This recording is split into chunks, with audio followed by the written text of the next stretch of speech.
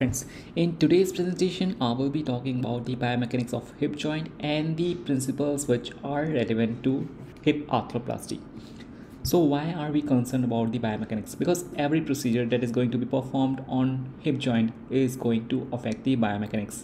Biomechanics meaning it is the study of the motion, function and structure of the moving parts of the living organisms so if we are studying the biomechanics of hip joint that means we are studying the forces structure and the motion around the hip joint. So it is important to understand the common pathologies of hip joint and any reconstructive procedure that is performed around hip joint needs to restore the biomechanics of hip joint at least approximately so that the function is restored in an appropriate manner. And any errors in the positioning of arthroplasty components can jeopardize the clinical outcomes.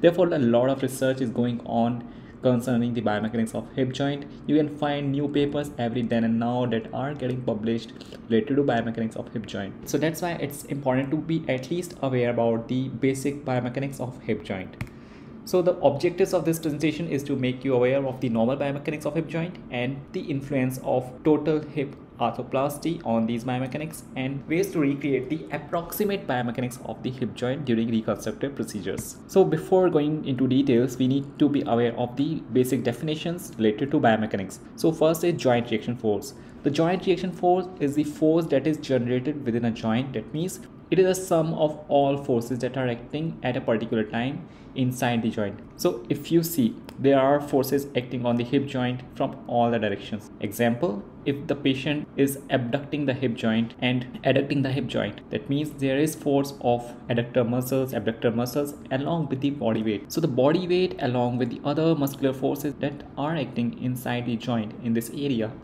will result in joint reaction force that is sum of all forces acting at a particular time. Second the coupled forces. Coupled forces are two parallel forces which are usually equal in magnitude but opposite in direction. Usually there is a fulcrum in between and if you see if the force is acting here then automatically an equal force will be applied on this direction also. Therefore they are usually balanced. Now coming to the figure you see if the abductor pull is there the abductor muscles are pulling the pelvis in this direction then automatically it is going to lift the body weight in the proximal direction. So here the abductor pull and the force which is acting on the opposite side of the pelvis will be the coupled force and the fulcrum here will be the hip joint. Then joint congruence. The joint congruence relates to the fit of two articular surfaces and if they are perfectly matching each other that means they are congruent. Now if you see on the right side right hip joint the head of the femur it perfectly parallel to the articular surface of the acetabulum. This is the weight bearing part of the acetabulum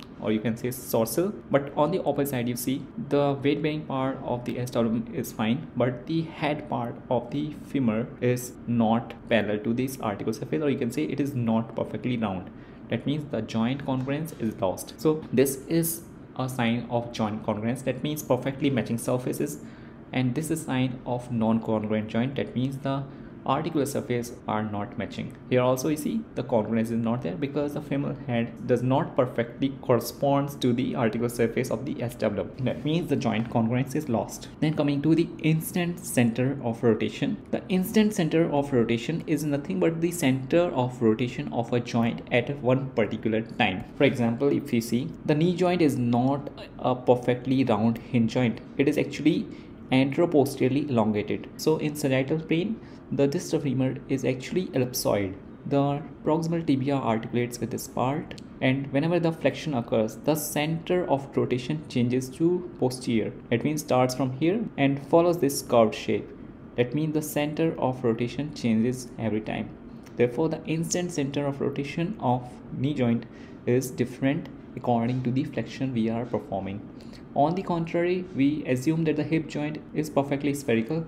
That's why the center of rotation is assumed to be at one particular point only. Therefore, the instant center of rotation of hip joint is at one particular point. Then coming to the center of gravity. If we see in the sagittal plane, the center of gravity of human body is just anterior to the S2 here and the weight bearing line passes from the mastoid process to just anterior to the ankle joint in sagittal plane. The hip joint is actually anterior to the weight bearing axis in sagittal plane while the shoulder joint is slightly posterior to the weight bearing axis in sagittal plane. The weight bearing axis passes centrally through the knee joint in the sagittal plane. In coronal plane, the weight bearing axis passes exactly in the midline. The weight bearing force that was just anterior to the S2 in this region is actually distributed to the hip joint bilaterally. So if the patient is standing on both feet, that will transmit the force to the hip joint at an angle of 16 degree to the vertical line as shown here but you see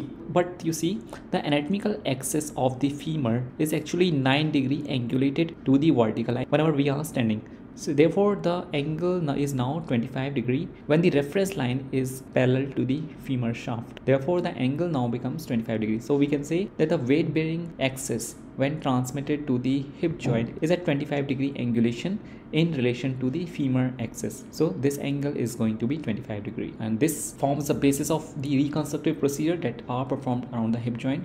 For example, if there is neck femur fracture, non-union of neck femur fracture and we are planning for valgus osteotomy. For that, if the forces has to go perfectly perpendicular to the fracture, so the fracture alignment should be like this if we want the compressive forces directly perpendicular to the fracture. Therefore, in osteotomy, we target that the angle should be 25 degree in relation to the femoral shaft axis.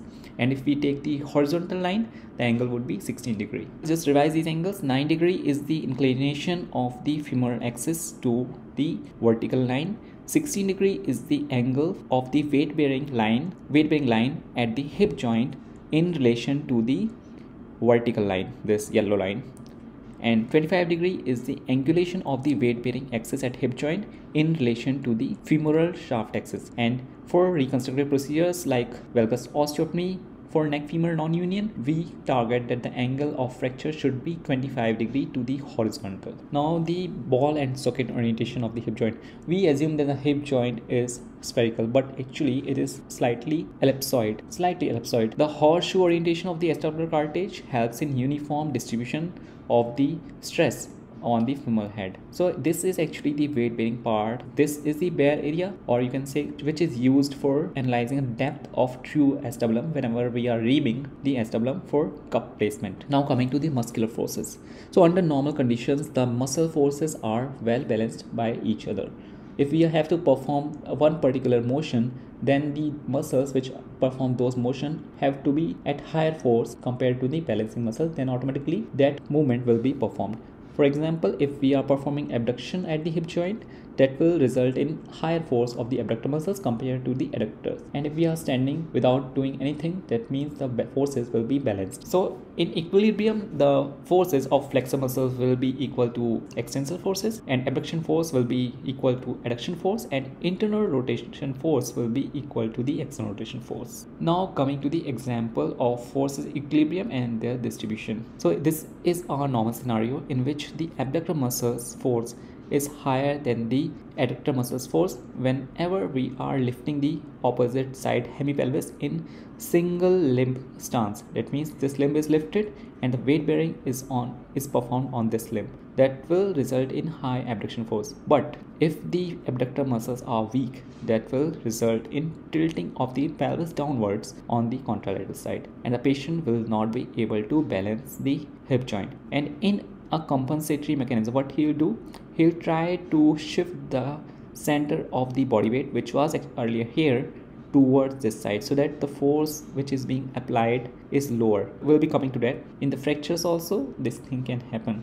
And non-unions any pathology around hip joint can result in reduced abduction pull which can result in positive Trendelenburg test. So this is the principle of Trendelenburg test in which the patient is not able to lift the opposite hemipelvis when standing on the affected side. So the patient automatically gets compensation by tilting the body weight towards the affected side. Now coming to its principle. So if you see the abductor force has to act on this side and the body weight has to act on this side. You see the lever arm on the abductor side is small while on the opposite side it is large. So therefore high amount of force has to be applied on this side to lift the body weight on this side. Therefore this force which is being applied here has to be strong one. But suppose if there is weakness here and the body weight is lying here then the patient will have difficulty in lifting this weight. So what he'll do he'll try to tilt whole of his body towards this side. And what will happen then? The lever arm on this side will become short and the lever arm on this side will become longer. So longer lever arm will require a less amount of force compared to a shorter lever arm so if the patient is shifting the body weight towards this side the lever arm will get shortened and the amount of force which is required on this side on this side to lift this part up will be smaller Therefore, the patient tends to tilt the body weight towards the affected side. this whole assembly is the abductor mechanism. So, the part of abductor mechanism is the femoral head, the acetabulum, or you can say hip joint, the abductor muscles, and whole of this whole of this bone stock and the body weight which is acting on the opposite side. So, any failure on this component can result in abductor mechanism failure. So there can be fracture of the proximal femur that can result in failure of the fulcrum. Then there can be muscle imbalance which can result in poor muscle pull on this side. Then there can be arthritis which can result in reduced motion around this area or you can say it is it will be painful. Therefore the muscles will not be able to act properly or whenever there is deformity automatically when deformity is there then also the motion will get hindered and any hip pathology that is hindering the normal motion of hip joint can result in abductor mechanism failure the shenton line is actually representing the bony component of the abductor mechanism. So any fracture or dislocation in this area will result in disruption of the Shenton line and automatically whenever the abductor mechanism is affected there will be positive Trendelenburg test that means the opposite side hemipelvis will drop downwards when in single limb stance phase or you can say the patient will tilt the body towards the affected side. Now coming to the lower limb alignment overall. Now I've told you earlier that the femoral anatomical axis is 9 degree tilted compared to the vertical line. Now you see the vertical line is here and the angle of the anatomical axis of femur is actually 9 degree. And the center of the hip joint center of the knee joint and center of ankle joint will join to form the mechanical axis. The difference between the mechanical axis and the anatomical axis of femur is 6 degree while in tibia it is same. For any procedure that is performed on the lower limb we have to keep in mind that we have to restore the mechanical axis. That means the center of hip, knee and ankle should pass in the straight line. So why it is important to restore the mechanical axis? Because you see if you are keeping all the joints in single line whenever you are standing, you are actually creating a very well balanced alignment. Just see the example. If the stones are stacked together perfectly centered to each other, then automatically it is it will remain balanced.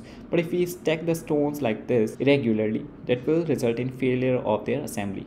Similarly, if you see the patient is keeping the limb in this position, that means hip flex, knee flex, and then attempting to stand. Then to compensate for the gravity, the anterior muscle of the knee joint, that is quadriceps muscle, has to maintain a force to prevent any falling down and similarly the hip extensor muscles also have to maintain a force to prevent any further flexion of the hip joint so that will be an energy consuming procedure on the contrary if the patient is standing no extra force is required except for the equilibrium force that is maintaining the balance between the group of muscles no extra force is required now coming to the normal hip movements. So the movements at hip joint include flexion, extension, abduction, adduction and external rotation versus internal rotation. The flexion is around 100 degree with knee extended and 140 degree when knee is flexed. Why? Because the hamstring muscles need to be relaxed for further flexion and the extension of hip joint is around 15 to 20 degree. The abduction is around 10 to 45 degree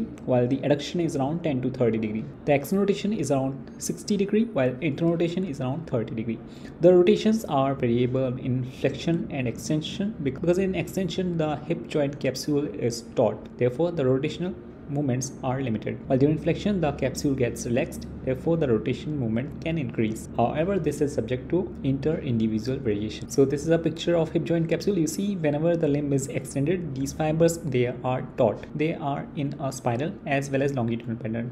You can see these fibers are spiral in orientation while these are longitudinal. So in extension, they are taut. They do not allow extra rotational movement. While when flexion is performed, they all become relaxed and they allow further rotational movements. So we need to be aware of the normal hip movements during our day-to-day life because then only we will be able to restore the normal motion of hip joint during any reconstructive procedure. So when you are bending down to tie your shoelace, the flexion at hip joint is around 125 degree while there is 20 degree of external rotation and 15 degree of abduction as you can see here. While in stair climbing as you can see here the flexion is around 70 degree. In stair descent there is flexion of around 35 degree. As far as the gait part is concerned during the late swing phase when the heel is going to touch the ground there is need of around 35 to 45 degree of flexion to keep the limb forward so that the heel is going to touch the ground. While in heel off phase that means here to lift the body off the ground to generate a push off there is a need of extension of around 15 to 20 degrees so therefore in this phase there will be need for extension of the hip joint while a variable amount of pelvis motion will be occurring in all these movements it may occur at the hip joint, it may occur at the SI joint, and it may occur at the lumbo pelvic junction also.